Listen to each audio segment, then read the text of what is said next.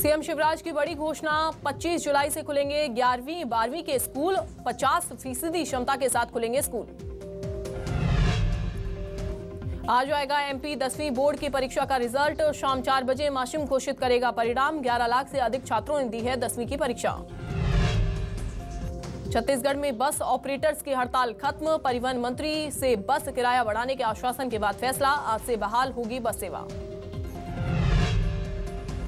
महँगाई को लेकर पूरे छत्तीसगढ़ में कांग्रेस का प्रदर्शन। सभी जिलों में निकाली गई साइकिल यात्रा प्रदर्शन में प्रदेश अध्यक्ष मोहन मरकाम भी हुए शामिल।